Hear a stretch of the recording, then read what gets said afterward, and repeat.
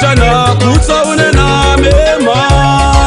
kufurahi na kushangilia wokovu wa Bwana, kufurahi na kushangilia wokovu wa Bwana, hata maisha yake ni bure mbele zake,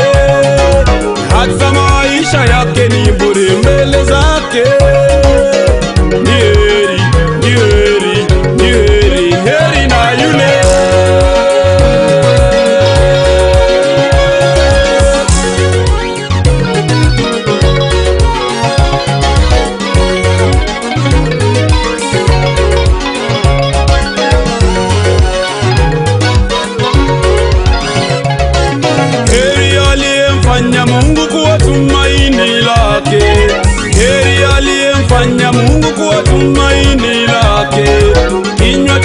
mchana kutsa unenamema